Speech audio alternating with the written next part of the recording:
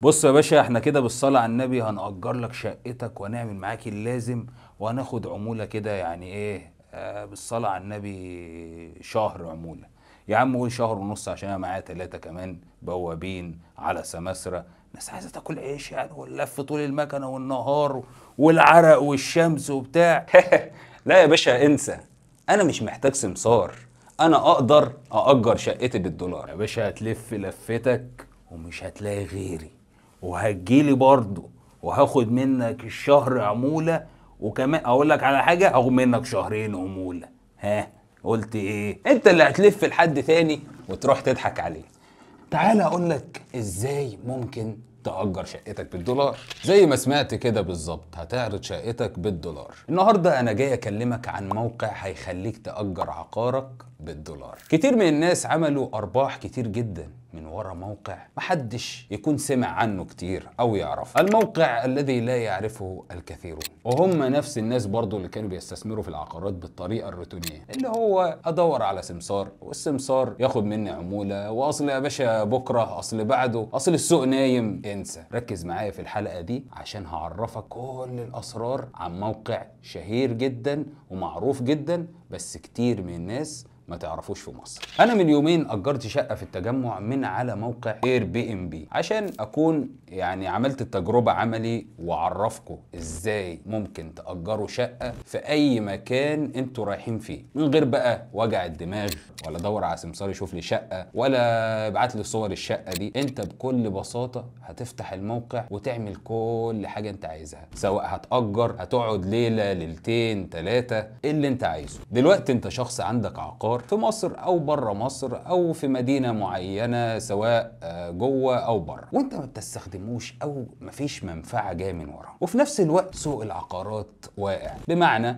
إن أنا مش لاقي أي حد أجر العقار بتاعي أو إن هو أقدر أجره له بسهولة يعني. في Airbnb أنت اللي هتكون مدير نفسك. ولا تقعد تحت رحمة سمسار ولا مكتب ولا شركة سواء أنت عايز تقعد في عقار في المكان اللي أنت رايحه أو اللي مسافر ليه أو إن أنت تأجر العقار بتاعك في أي مدينة أو في أي مكان في العالم. الموقع ده بيتيح ليك إن أنت تحط العقار بتاعك وتسوق للعقار وتحط الصور بتاعته والتقييمات وشوية شغل كده إيه عشان العقار يبقى حلو. وفي المقابل لما يجي واحد مسافر للمكان اللي فيه العقار بتاعك في أي مكان في العالم وبيدور على مكان يقعد فيه شوية أو يقعد فيه مدة طويلة أو قصيرة. بيفتح الموقع وبيدور على العقارات الموجودة في المنطقة اللي هو مسافر ليها أو المكان اللي هو مناسب ليه. من ناحية السعر من ناحية الفرش من ناحية المساحة من ناحية أي حاجة هو نفسه إن هي تبقى موجودة في العقار. تعال أقول لك إيه المميز في الفكرة دي عند Airbnb اولا في الإيجارات. ينفع تأجر ليلة واحدة بس. يعني أنت مش مجبر إن أنت تأجر على الأقل شهر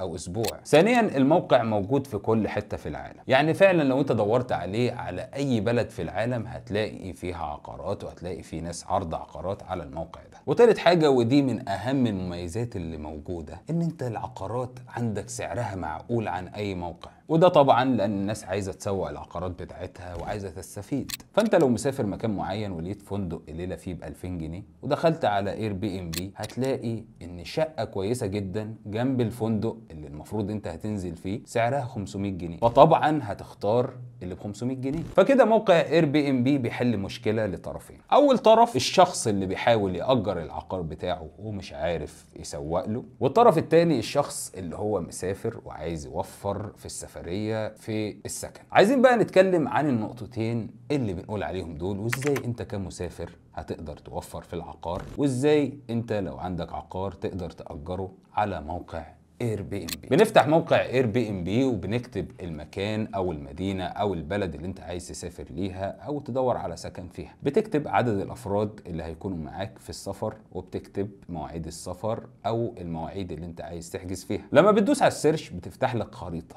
تظهر لك كل العقارات اللي موجودة في المكان اللي أنت هتسافر فيه أو المدينة اللي انت رايحها وكمان لما بتعمل زوم في الخريطة بيظهر لك بالظبط الشارع اللي انت عايز تقعد فيه وتلاقي في عقارات منافسة في نفس المنطقة وبتظهر لك كل المعلومات عن العقار لما تدوس على السعر. زي الصور آه، وكم غرفة وكم حمام وإيه التفاصيل والمميزات اللي موجودة في العقار وقد إيه الفرش هو جديد أو قديم أو متوسط. على حسب السعر هتلاقي السكن بتاعك. ومن أحلى الحاجات اللي موجودة على الموقع وشايف إن هي مهمة جدا الفلتر. الفلتر ده لو أنت عايز السكن يكون شقة عايزه يكون فيلا عايزه يكون استوديو وبتقدر تختار كام غرفة أو عاوز فندق برضو متاح. وفي نفس الوقت ممكن تختار لو أنت عايز يكون في حمام سباحة لو أنت عايز إن يكون في سخان في الحمام لو عايز يكون في تكييفات و و و و. كل الإضافات دي موجودة في الفلتر وبيطلع لك السعر المناسب للسكن اللي انت عايز فيه الإضافات أو المميزات اللي انت بتطلبها. بعد كده لما تخلص كل المواضيع دي بتدوس على العقار اللي عجبك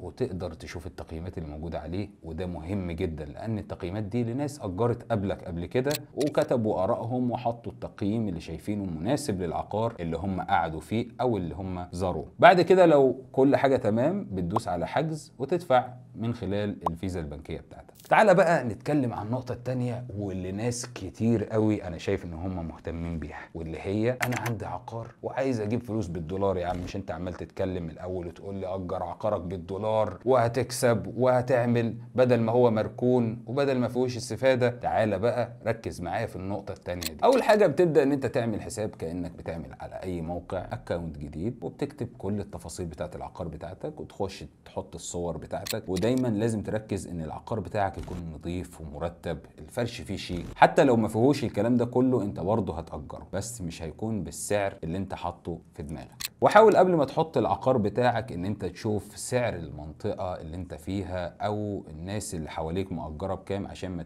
تبقاش زايد عنهم وتقدر إن أنت تجيب ناس تأجر بالأسعار المعقولة اللي في منطقتك. ولو أنت لسه في البداية حاول إن أنت تحط range أقل من الناس اللي جنبك لأن أنت عايز تاخد تقييمات عالية وعايز الناس تزورك. وبس كده. الموضوع سهل جدا وبسيط ومربح جدا. ويستاهل إن أنت تبدأ تجرب فيه دلوقتي. واكتب لنا في الكومنتات تجربتك مع موقع Airbnb لو أنت من الناس اللي سافرت وحجزت عليه أو من الناس اللي كان عندها عقار ومش عارفة تأجره وأجرته على Airbnb مستني كل تعليقاتكم واستفساراتكم في الكومنتات. أشوفكم في حلقة جديدة. سلام.